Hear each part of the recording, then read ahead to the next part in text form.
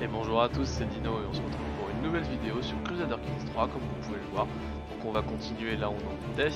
Alors on va charger la petite partie. Vous pouvez le voir, j'ai fait un autre essai euh, mais je n'étais pas satisfait de la qualité de la vidéo. Parce qu'effectivement euh, le remplacement euh, du fond via Nvidia Broadcast avait déconné. Donc on va voir ce que ça donne sur cette nouvelle vidéo, si ça fonctionne bien, sinon je ne le retirerai.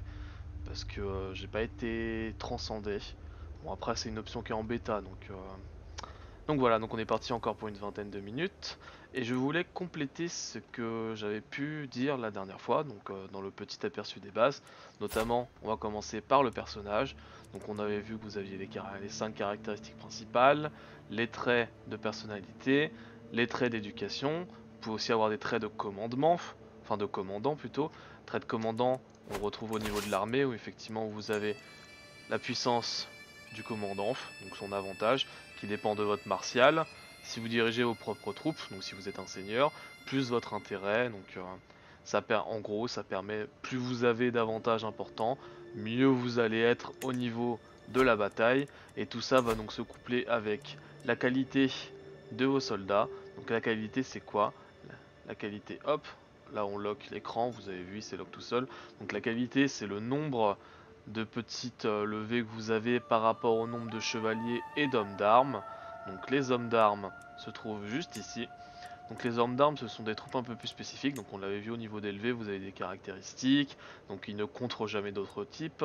Et vous avez les hommes d'armes qui eux par exemple à pied taille vont contrer l'infanterie lourde, vont avoir des avantages sur tel ou tel terrain, vont avoir des caractéristiques différentes, les archers, les cavaliers légers, les piquiers, les pieds en armure, sachant que vous allez en débloquer au fur et à mesure grâce à des technologies, chose qu'on n'a pas vu dans le tutoriel et que je vais vous montrer après. Donc on va d'ores et déjà créer des mangonos, mangonos et onagres qui sont utiles comme vous pouvez le voir pour augmenter la progression du siège, parce que sinon ça va prendre du temps, et de toute façon on a de l'argent, donc on va faire des mangonos et des onagres. Voilà. Donc pour revenir, je viens de vous le dire, on a des technologies. Les technologies, c'est quoi? Donc actuellement, nous sommes de culture gaélique. Nous sommes des Irlandais, parce que vous voyez qu'il y a aussi des gaéliques ici, mais qui sont de culture écossais. Donc nous, on est Irlandais. Effectivement, on est sur notre île. Là, vous voyez, il y a des Norvégiens. Alors, si je conquiers ce comté, effectivement, la culture sera norvégienne. Mais comme on l'avait vu dans le conseil la dernière fois, je peux promouvoir ma culture dans ce petit, euh, dans ce petit comté, si jamais je le conquiers. Donc au niveau des technologies, donc vous avez les technologies tribales, ça c'est vraiment quand vous commencez bah, par exemple euh, avec les vikings, les vikings euh, sont tribaux, enfin les vikings euh, si vous commencez dans, un âge suffisamment, là on est en 1067, je pense qu'il n'y a plus beaucoup de tribaux, mais si vous commencez en 867, là il va y avoir plus de problèmes. Donc nous au niveau du haut moyen âge, donc vous voyez, vous avez diverses petites innovations, ces innovations débloquent au fur et à mesure différentes choses pouvez avoir des innovations culturelles et régionales, par exemple la Reconquista pour ceux qui sont en Ibérie, les Goulam pour ceux qui sont en, Arabie, et pour les Germains d'Occident, voilà. Donc nous on n'a rien, en, termes d'Irlandais on n'a rien, j'ai déjà regardé dans les différents, euh, dans les différents onglets. Alors, il y a deux choses à savoir. La fascination culturelle actuelle, c'est ce que moi je recherche, et l'exposition actuelle, c'est un petit boost que j'ai. Donc là on verra. Donc si je laisse faire automatiquement, dans 43 ans, j'aurai les lois héréditaires. Et moi, je recherche les chroniques que j'aurai dans 49 ans. Si je mets ma fascination sur l'exposition, ça passe à 24 ans. Alors certes, je recherche qu'une technologie, mais je mettrai 24 ans au lieu de mettre 49 et 43. Alors que là, ça va prendre beaucoup plus de temps. De toute façon, vous avez les statistiques, hein, vous pouvez le voir. Ça, ça augmente tout seul. Mais je vous conseille généralement de mettre exposition et la fascination, enfin l'exposition vous choisissez pas, mais de mettre la fascination culturelle sur la même exposition. Ça ira beaucoup plus vite, même si vous voulez euh, spécifiquement une technologie, vous mettrez moins de temps à la voir avec l'exposition. Alors, savoir que la culture, donc là vous voyez, le dirigeant de cette culture a la plupart des comtés irlandais dans son pays, j'ai deux comtés, les deux comtés sont irlandais, et la fascination mise sur les lois héréditaires, mais dépend de l'érudition une érudition, donc là vous voyez elle est faible, et c'est vrai qu'on m'a dit que ça serait bien que je parle un petit peu des statistiques, parce que je vous ai dit que la dernière fois mon, mon, euh, évêque puait, mais pourquoi est-ce qu'il pue? On va voir ça tout, euh, à l'heure. Donc là vous avez effectivement la fascination qui euh, dépend de l'érudition. Donc l'érudition qui permet aussi de convertir des comtés. Donc une option qui est, par, qui est juste là avec l'évêque. Parce qu'effectivement là où en bas vous avez les, cartes euh, selon les pays, les duchés, les royaumes, les empires. Là on va mettre selon la foi. comme vous pouvez le voir par exemple ici chez les, euh, chez les Espagnols, vous avez la foi mualadite et la foi catholique qui, bah, sont porte-à-porte. Hein. Et grosso modo, là c'est... Hop, juste là je pense. Là ça va être espagnol. Ah là voilà, ici c'est espagnol. C'est détenu par, on va les appeler musulmans, parce que c'est le muwaladisme, c'est une branche musulmane. Donc c'est catholique, mais c'est détenu par des, par des musulmans. Hop, on remet la carte. Donc vous pouvez le voir. Là, s'ils veulent convertir, ils vont devoir convertir avec leur évêque. Donc eux, ça sera plutôt avec euh, leur... Euh, leur... Euh, mince, comment on appelle ça déjà? Je ne sais plus. Mais vous, avez compris où je... Leurs imams, voilà. Vous avez compris où je veux en venir. Et donc, la conversion est soumise aussi à l'onglet ici présent. Donc vous avez l'onglet pour les catholiques. Vous avez l'onglet, donc ça c'est que les foi chrétiennes. Hein. donc vous avez tous les foi chrétiennes ici. Et si j'appuie là, vous avez les autres fois, les fois musulmanes, la foi des steppes, les bouddhistes, vous avez plein de choses. Donc vous voyez que la foi dominante est la foi catholique. Ça veut dire quoi? Ça veut dire que je vais perdre en ferveur de manière... Enfin là on va en gagner 0,03 par mois, ce qui est ridicule. Mais plus une foi est étendue, moins elle sera fervente. Ça veut dire quoi? Ça veut dire que quand vous allez vouloir convertir un comté, bah vous allez en chier si vous avez une foi qui est particulièrement importante. Vous allez prendre beaucoup de temps à convertir. Donc ici on va passer très rapidement parce qu'il euh, y a des choses qui ne sont pas forcément intéressantes. Donc vous avez les lieux saints ici, ça voilà, avec toutes les caractéristiques que ça comporte. Là ça veut dire que le recrutement des ordres coûte moins cher, l'opinion des vassaux religieux. Là vous voyez que Jérusalem est détenue par euh, le sultanat d'Égypte, donc par une foi euh, ismaéliste. Ce qui veut dire quoi? Bah, Ce qui veut dire en gros que les chrétiens ne sont pas présents sur place et donc on perd ce bonus là de vitesse de conversion comptable.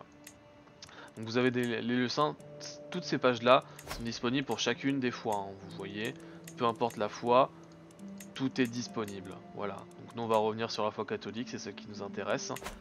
Au niveau des croyances, voilà, je vous laisse lire, vous avez les pèlerinages armés. Au niveau des principes, la communion et le monachisme. Donc vous voyez, ça veut dire quoi? Le monachisme, en gros, ça veut dire que vous avez des, des petits traits qui sont considérés comme des vertus, donc qui donnent plus 10 d'opinion et un piété par mois, et ceux qui sont considérés comme des péchés, qui donnent moins 10 d'opinion auprès des catholiques et un piété en moins. Vous avez ensuite les principales doctrines, donc la domination masculine, une, doctrine juste, théocratique et œcuménisme. Je vous laisse lire encore une fois, hein. je passe vite fait, voilà. Mais pour vous expliquer, la domination masculine, ça veut dire quoi? Ça veut dire qu'on préfère les hommes au pouvoir, Désolé pour mesdames, mais vous avez un, malus de moins 10 à chaque fois qu'une femme sera dirigeante. Donc seuls les hommes peuvent être commandants ou chevaliers. Enfin vous voyez c'est très basé sur ce, qu'était le, le Moyen Âge. Donc une doctrine juste ça veut dire quoi? Ça veut dire qu'on peut révoquer des titres à des infidèles néfastes sans encourir de tyrannie. La tyrannie, je vous laisse lire, mais je vous l'explique. Si vous faites des décisions comme par exemple exécuter un vassal en prison ou lui retirer un titre sans que ce soit justifié, eh ben vous allez avoir de la tyrannie, ça, va faire de l'opinion en moins. Donc vous avez le fait que ce soit théocratique, c'est-à-dire que le, les temples ne peuvent être détenus que par un vassal théocratique, donc un prêtre. Donc les temples, on avait vu la dernière fois, temple, cité, baronnie. Donc cité pour les, pour les marchands, temple pour les prêtres, baronnie pour les barons ou pour vous-même. Et vous, vous aurez principalement les, grosses villes.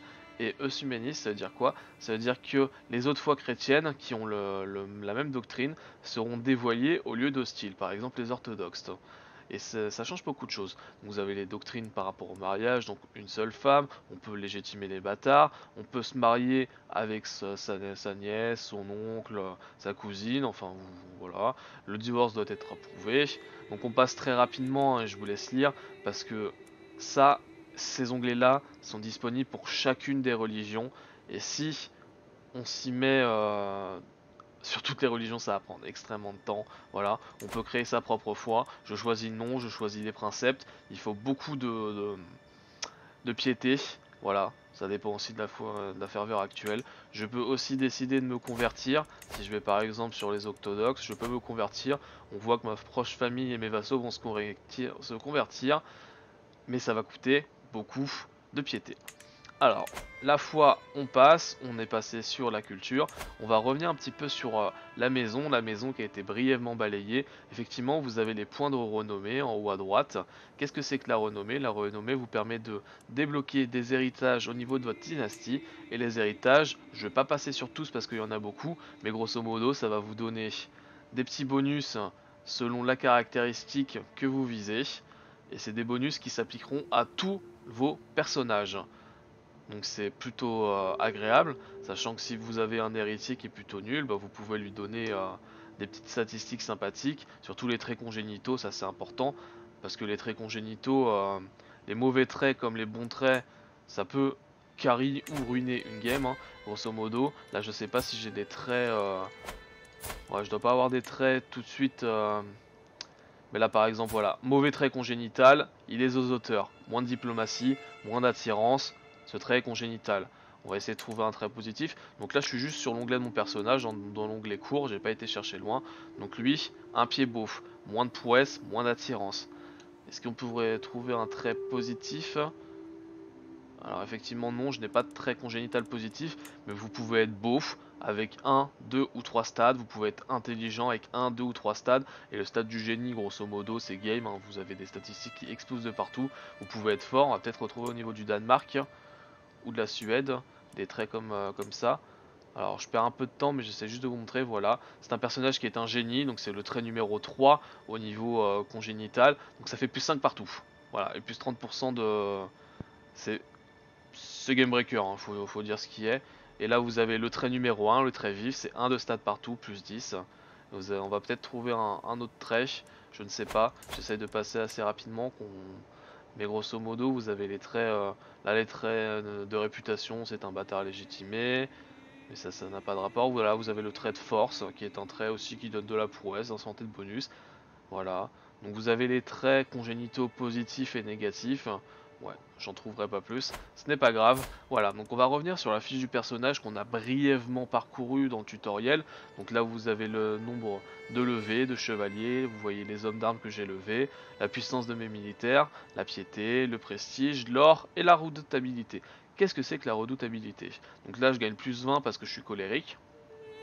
La redoutabilité, ça permet tout simplement de dissuader certains vassaux de rejoindre telle ou telle faction selon bah, si vous avez beaucoup ou non de redoutabilité. C'est-à-dire en gros ils vous craignent, ils ont peur de vous. Lui par exemple, il est terrifié. Il a peur de moi par ma redoutable euh, réputation. Ça veut dire qu'il ne s'opposera jamais à moi. Et ça c'est plutôt positif. En quoi ça change quelque chose? Donc là on a on finit juste vite fait l'onglet diplomatie. Donc vous voyez les guerres qui sont en cours, les alliances qui sont en cours et par quels moyens sont-elles mises en place? Voilà. En quoi ça change? De dissuader des vassaux. Dans l'onglet intrigue, non, ce n'est pas dans l'onglet intrigue, c'est dans l'onglet fonction. Vous pouvez avoir des rébellions contre vous.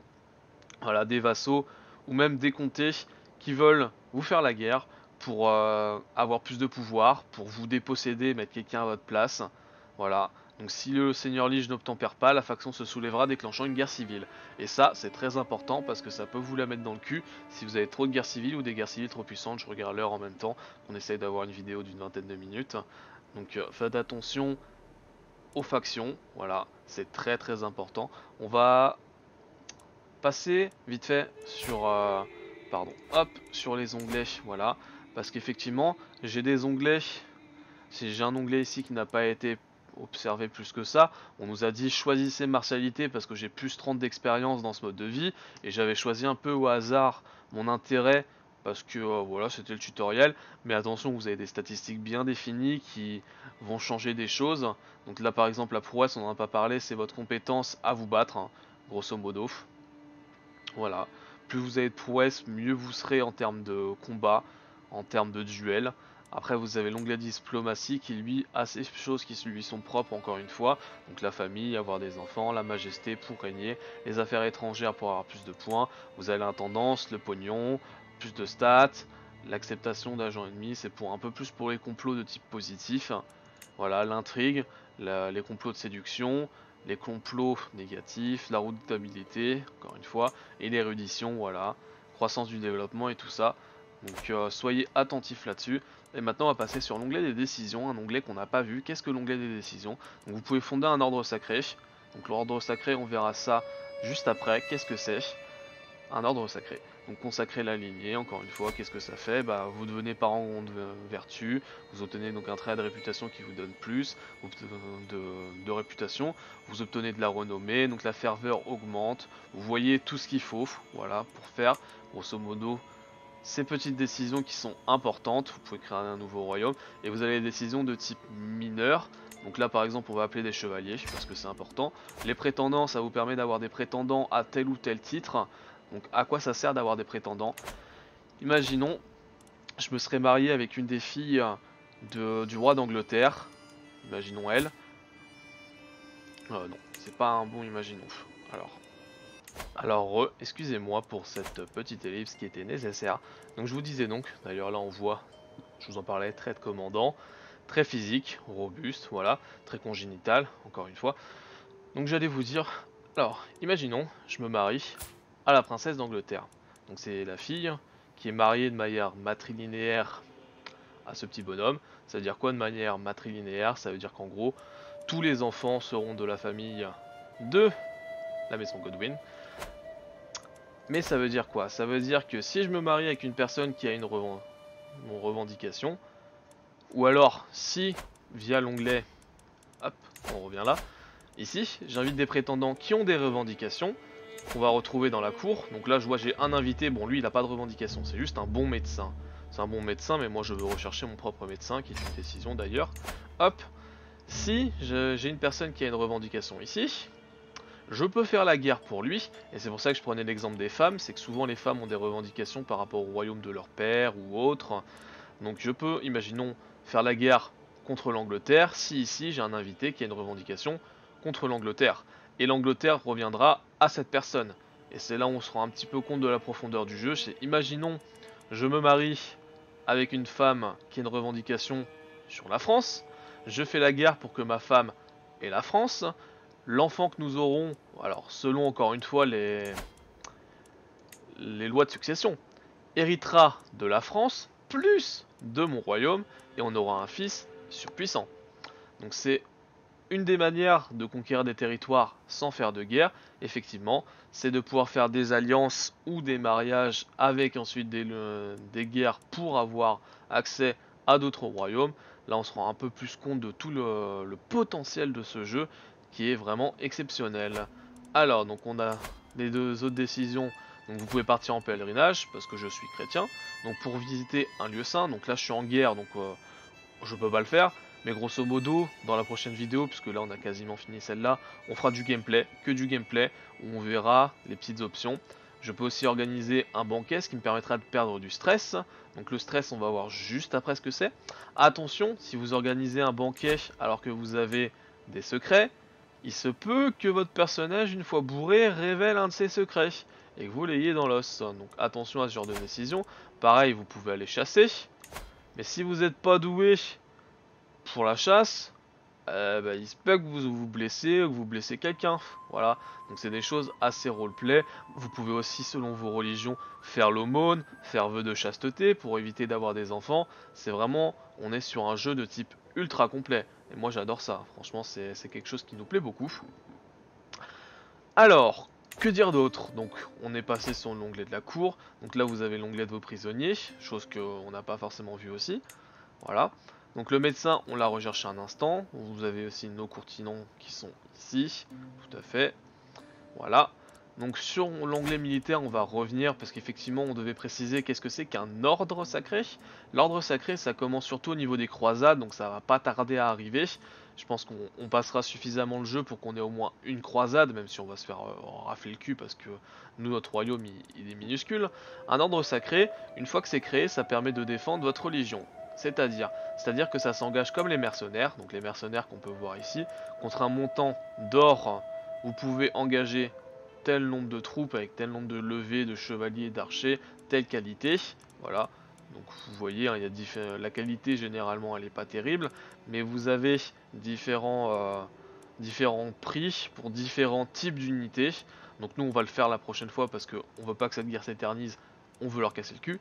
Et les ordres, ce sont des types de mercenaires aussi, qui s'engagent lorsque vous êtes attaqué par une autre foi. Donc on avait vu tout à l'heure la foi musulmane. Imaginons je joue Castique, je me fais attaquer par les Dununides, je peux engager un ordre sacré s'il n'est pas déjà engagé pour défendre alors, ça sera comme des mercenaires. Je pourrais gérer moi-même ces unités. Et ça permet de, en grosso modo, de défendre. Mais par exemple, là, on est chez les Irlandais. On est tous catholiques. Tiens, on, remarque d'ailleurs que... Sais pas pourquoi. Ah non, c'était la culture. C'était pas la foi. Donc, on est tous catholiques ici. Imaginons, là, je suis en guerre contre eux. Je ne peux pas appeler un ordre sacré catholique contre des catholiques. C'est une chose qui me paraît assez évidente. Donc voilà, donc vous avez plein d'options différentes, les mercenaires avec plein de choses différentes, voilà, selon quelle compagnie c'est. Attention, les mercenaires, vous les payez sur une année.